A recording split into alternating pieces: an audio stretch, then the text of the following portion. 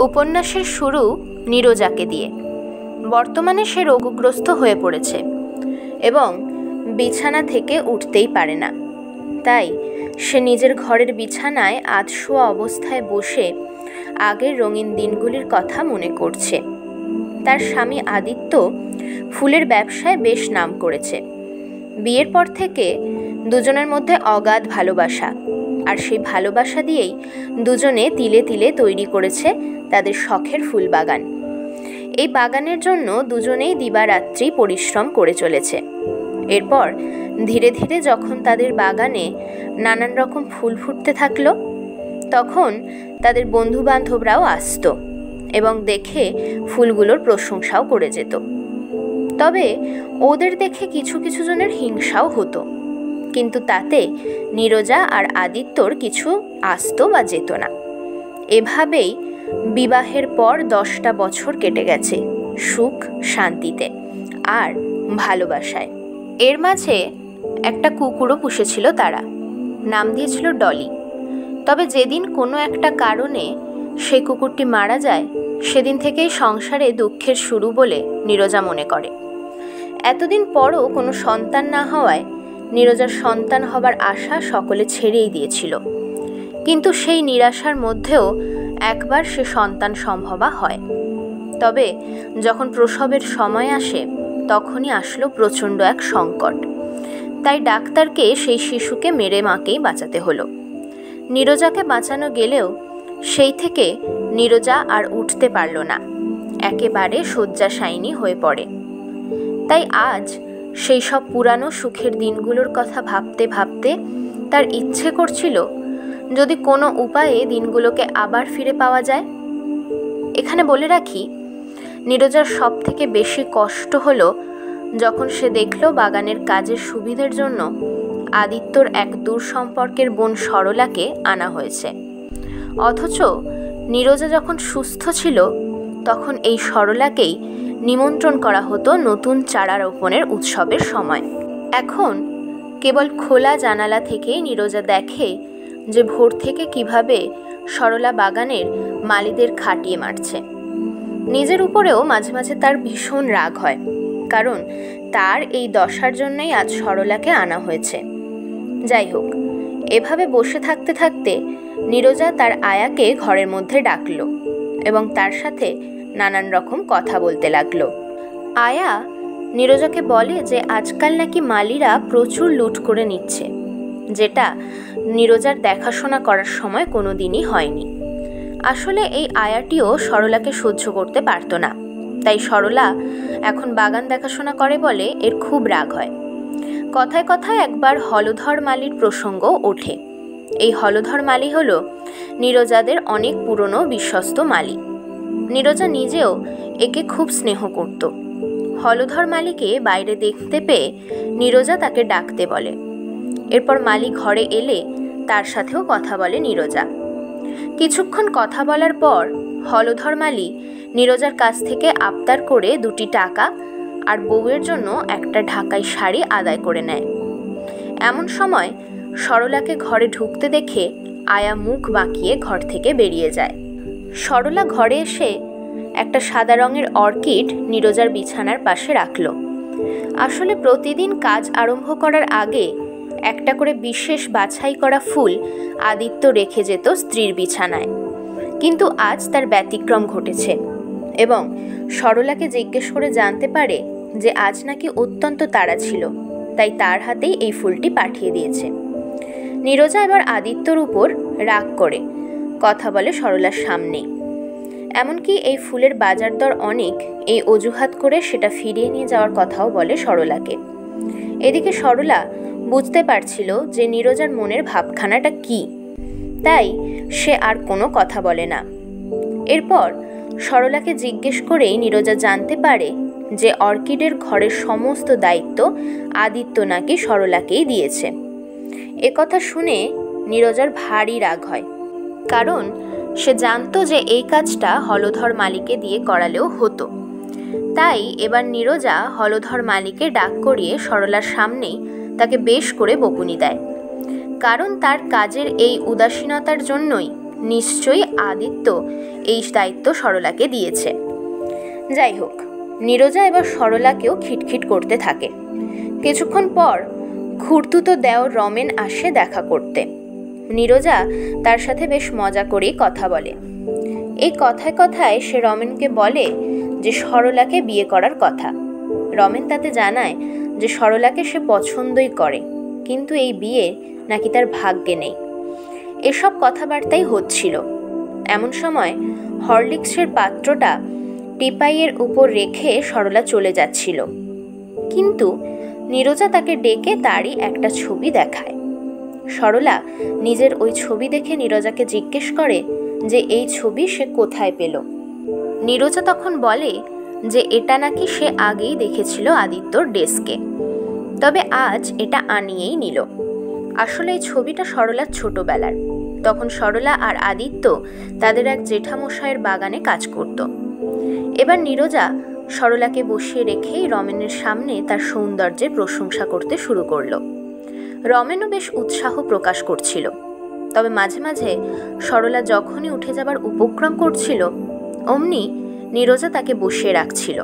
তবে সেসব উঠে যাওয়ার সময় রমেন হঠাৎই সরলার সামনে দরজা আঁকলে দাঁড়িয়ে পড়ে। তাকে বলে যে আজ সে বাগিচায় আসবে এবং তার সঙ্গে কিছু কথা বলার আছে। তাই সরলাকেও আসার জন্য কথা দিতে হবে। সরলা সম্মতি জানিয়ে চলে যায়। তারপরে রমেনও একবার নীরজাকে বলেই বেরিয়ে যায়।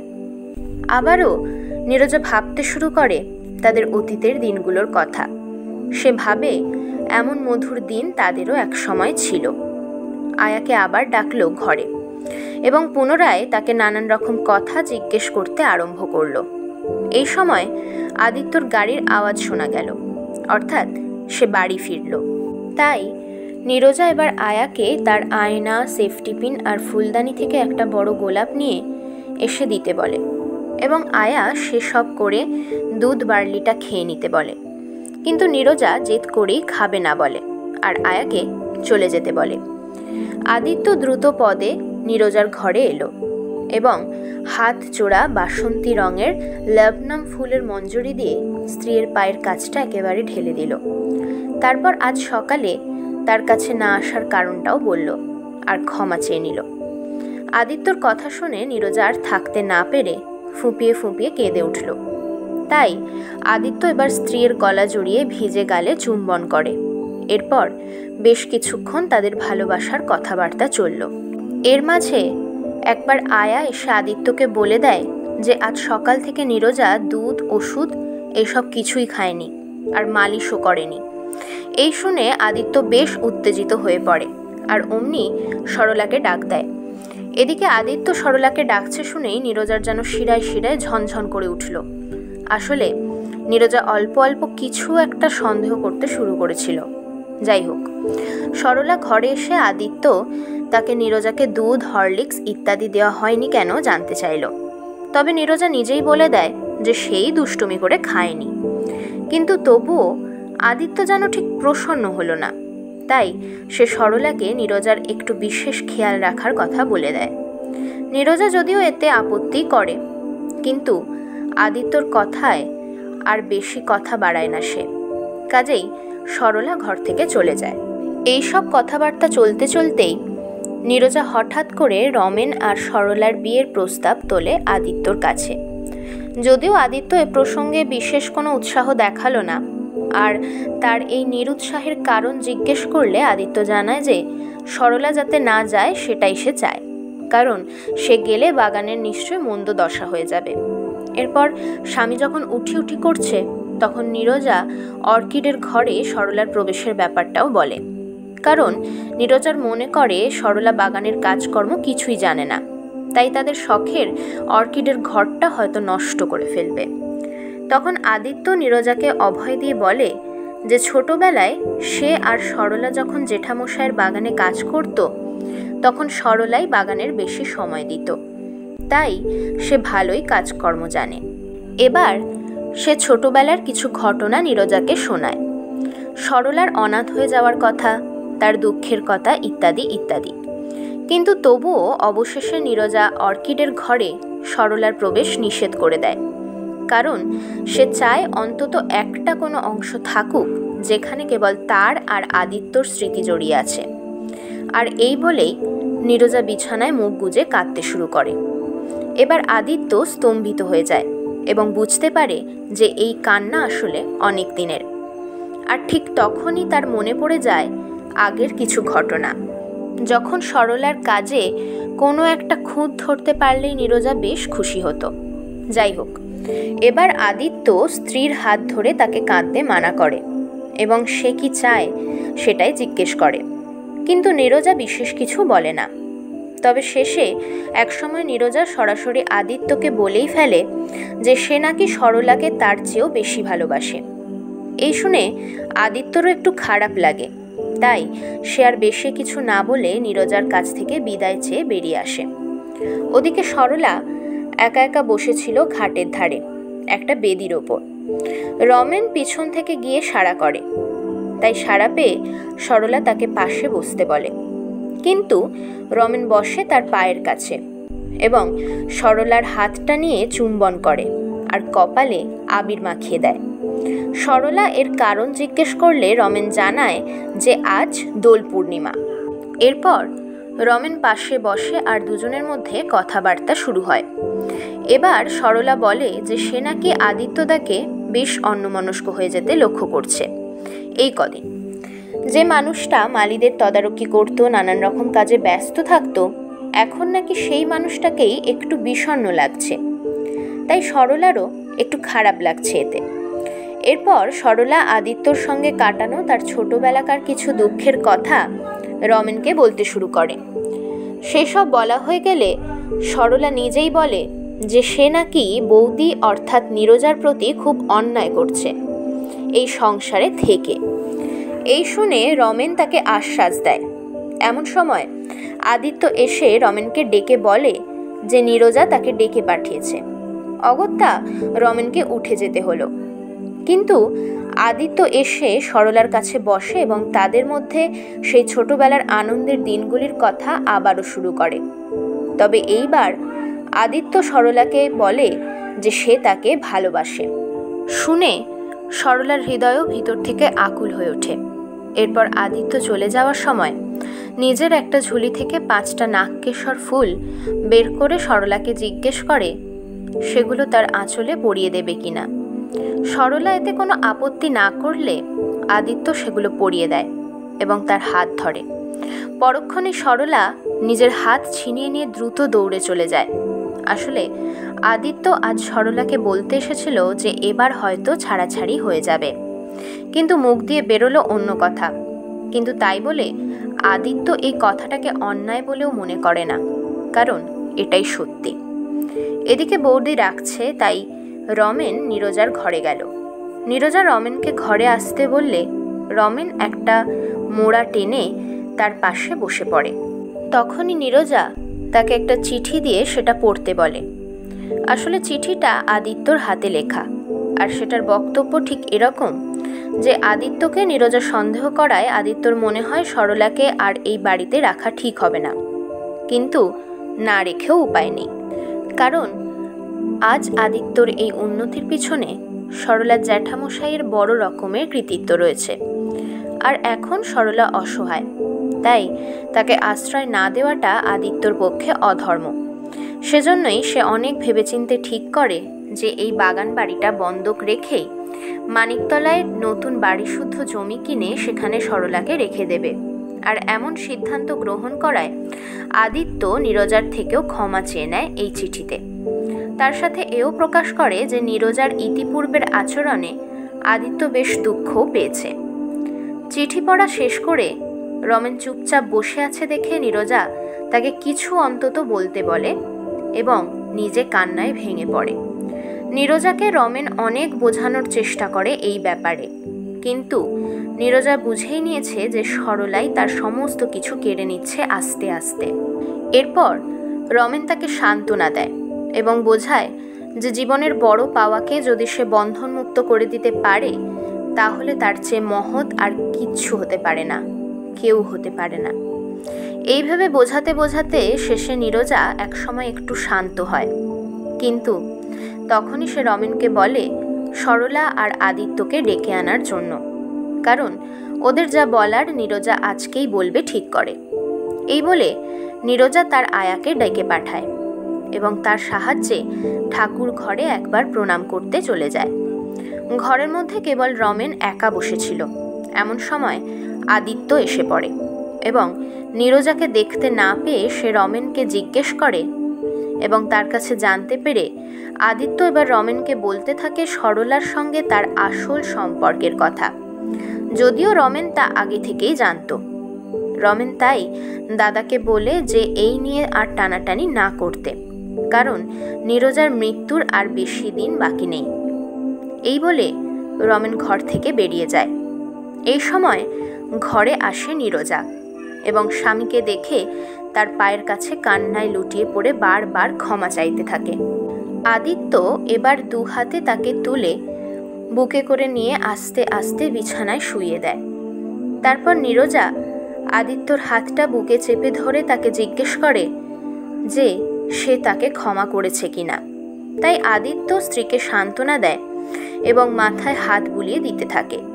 ঠিক এই সময় বাইরে সরলার গলার আওয়াজ পাওয়া গেলে নীরজা বুঝতে পারে যে রমেন তাকে ডেকে এনেছে, তাই তাদেরকেও সে ঘরে ডেকে নেয়। সরলা এসে তাকে প্রণাম করে এবং নীরজা তাকে কাছে ডেকে নেয়। এরপর গয়নার কেশ থেকে একটা মুক্তোর মালা বের করে সেটা পরিয়ে দিয়ে বলে যে এটা তার একটা বিশেষ হার, যেটা কিনা বিশেষ বিশেষ দিনে অনেকবার সে পড়েছে আর আজ এটাই সরলাকে দিতে চায় সে। এবং শেষ দিন পর্যন্ত যেন সেটা তার গলায়তেই থাকে। কারণ তাতে আদিত্যর মনে পড়ে যাবে সেই পুরানো দিনগুলোর কথা। কিন্তু সরলা নিজেকে এই উপহারের অযোগ্য বলে এটা নিতে অস্বীকার করে এবং সেটা নীরজাকেই ফিরিয়ে দিয়ে চলে যায়। সরলা কোনো কারণে কষ্ট পেয়েছে এই দেখে আদিত্য আর থাকতে না পেরে সেও বেরিয়ে যায় ঘর থেকে। নীরজা এবারে বেশ উতলা হয়ে পড়ে। আজ যখন সে নিজে থেকেই তার সমস্ত কিছু সরলাকে দিয়ে দিতে যাচ্ছিল, তখন এরকম কেন হলো রমেনকে জিজ্ঞেস করে। রমেন তাকে বলে যে হয়তো সে উদারভাবে ত্যাগ করতে পারেনি। তাই এমন হলো। নীরজা এবার খুব ব্যস্ত হয়ে পড়ে এবং ওরা দুজন কোথায় গেল সেটা রমেনকে দেখতে বলে। তাই রমেন বৌদিকে সান্ত্বনা দিয়ে তাদের খোঁজার জন্য যায়। ওদিকে আদিত্য ওর সঙ্গে এসেছে বলে সরলা তাকে বলে যে কাজটা সে মোটেই ভালো করেনি এবং তাকে ফিরে যেতে বলে নীরজার কাছে। আরও বলে যে সে নিজের সঙ্গে তাকে কিছুতেই থাকতে দেবে না। আদিত্য তখন বলে যে তারা জড়িয়ে যে গেছেই, আর এতে কোনো হাত নেই কারণ রমেন তখন সেখানে গিয়ে আদিত্যকে নীরজার কাছে গিয়ে তাকে ঘুম পাড়িয়ে আসতে বলে। অগত্যা, আদিত্যকে চলে যেতে হলো। এবার রমেনের সঙ্গে সরলা কিছু গোপন আলোচনা করে নেয়। কিছুক্ষণ পর যখন আদিত্য ফিরে আসে তখন রমেন সেখান থেকে চলে যায়। তবে সে যাবার সময় সরলা আর একবার তাকে বলে যে, বাসা ঠিক করে রাখার কথা। যে কথাগুলো ইতিমধ্যেই আলোচনা করে নিয়েছিল। সরলা এবার আদিত্যকে দিয়ে প্রতিজ্ঞা করিয়ে নেয় যে, এই কটা দিন সে যেন নীরজাকে একেবারে বুঝতেই না দেয় সরলার প্রতি ভালোবাসার কথাটা এবং সারাক্ষণ যেন নীরজাকে নিয়েই থাকে। কারণ ডাক্তার বলেই দিয়েছেন ওর আর বেশি দিন নেই। তারপর সরলা এও বলে যে এই কটা দিন সে আর এখানে থাকবে না। তাই রমেন সেই দায়িত্ব নিয়ে একটা বাসা ঠিক করে রেখেছে। আদিত্য প্রথমে এতে একটু আপত্তি করলেও শেষে সরলার কথায় রাজি হয়ে যায়। পরদিন নীরজা সরলাকে আর দেখতে না পেয়ে তার আয়াকে জিজ্ঞেস করে তার কথা। তখন আয়া জানায় যে সরলা নাকি বড়লাটের মেম সাহেবের একটা শিলমোহর চুরির দায়ে জেলে গেছে। এই শুনে নীরজা বাইরে থেকে খবরের কাগজটা তাকে আনতে বলে। সেটা দেখে আশ্চর্য হয়ে যায় এই ভেবে যে এত বড় খবরটা আদিত্য এখনও তাকে দেয়নি। এরপর সে একটা চিঠি লিখে গণেশ গাঙ্গুলি নামের একজন ব্যক্তিকে সেটা জেলে গিয়ে সরলার কাছে পৌঁছে দিয়ে আসতে বলে। কিছুক্ষণ পর আদিত্য আসে এবং বলে যে ডাক্তার বলেছে ঘন্টায় ঘন্টায় ওষুধ খাওয়াতে। আদিত্য এসে নীরজার শুশ্রূষা করার চেষ্টা করে। তবে তার এই আচরণটা নীরজার যেন একটু বাড়াবাড়ি মনে হলো। তাই নীরজা তাকে এসব করতে বারণ করে দিয়ে বাগানের দিকে নজর রাখতে বলে। এই বাগানের প্রসঙ্গ উঠে পড়াতে নীরজা স্থির করে সে যে কটা দিন আছে, বাগানটাকে একবার নিজের মনের মতো করে গুছিয়ে দিয়ে যাবে এবং নিজের শয্যাশায়ী হলেও তার বাগানকে একেবারে চাঙ্গা করে তুলবে। আর এই কাজ সে বিছানায় শুয়ে শুয়ে মজুর মালিকদের দিয়ে করিয়ে নেবে। আর এই সময়টুকু সে আদিত্যকে তার অফিসের কাজকর্মের দিকে মনোযোগ দিতে বলে। এমনকি তাকে নিয়ে শুধু শুধু চিন্তা ভাবনা করতেও বারণ করে দেয়। আদিত্য নীরজার জন্য গন্ধরাজ ফুল এনেছিল। সেগুলো রেখে এবার উঠে যাচ্ছিল। কিন্তু নীরজা তার হাত ধরে আবার বসিয়ে দেয়। সে বলে, এই সব কিছুই থাকবে, কেবল সেই থাকবে না। আবার পরক্ষণে বলতে শুরু করে, যে সশরীরে হয়তো থাকবে না, তবে এই সব কিছুর মধ্যেই সে থেকে যাবে। এবং আদিত্যকে বলে যে, তখন যেন সে তাকে এরকমই ভালোবাসে। এসব বলতে বলতে নীরজার চোখ বেয়ে জল পড়তে লাগল। আদিত্য এবার মোড়া ছেড়ে বিছানায় উঠে বসে এবং নীরজার মাথায় হাত বুলিয়ে দিতে থাকে। নীরজা আরও বলে যে সে সরলার প্রতি সত্যি অন্যায় করেছে। তাই এবার সরলাকে সে নিজের বোনের মতোই ভালোবাসবে। এরপর একটা বই আদিত্যকে পড়ে শোনাতে বলে। আদিত্য সেই বইখানা পড়ে শোনাচ্ছিল। এমন সময় আয়া একটা চিঠি নিয়ে আসে। ইতিমধ্যে কোনো এক বন্ধু আদিত্যকে খবর দিয়েছিল যে জেলে স্থানাভাবের কারণে কিছু কয়েদিকে মেয়াদের আগেই ছেড়ে দেওয়া হচ্ছে এবং সরলা তাদের মধ্যে একজন। তাই আদিত্যর মন তো লাফিয়ে ওঠে, কিন্তু প্রাণপণে সেটাকে দমন করে সেই চিঠিটা সে নীরজার হাতে দেয়। চিঠিটা নীরজা পড়ে এবং বলে যে তাহলে শীঘ্রই সরলাকে তার কাছে আনা হোক। এই বলেই হঠাৎ সে অজ্ঞান হয়ে যায়। আদিত্য ব্যস্ত হয়ে পড়ে। এবং পাশের ঘর থেকে ডাক্তারকে ডেকে আনে। কিছুক্ষণ পর নীরজা নিজে থেকেই বলে ওঠে যে তাকে বাঁচতেই হবে। কারণ সরলাকে সে শেষবারের মতো আশীর্বাদ করে তবেই যাবে এবং সমস্ত কিছু ওকেই ফিরিয়ে দেবে। এরপর রাত নটার সময় আদিত্য সরলাকে নিয়ে এসে বাইরে রাখে। নীরজাকে বলে যে সরলা এসেছে। এই বলে সে চলে যায়। কিন্তু সরলা ঘরে এসে পায়ে হাত দিয়ে প্রণাম করতেই তার হাতের ছোঁয়া পেয়ে এক অদ্ভুত ঘটনা ঘটে যায়।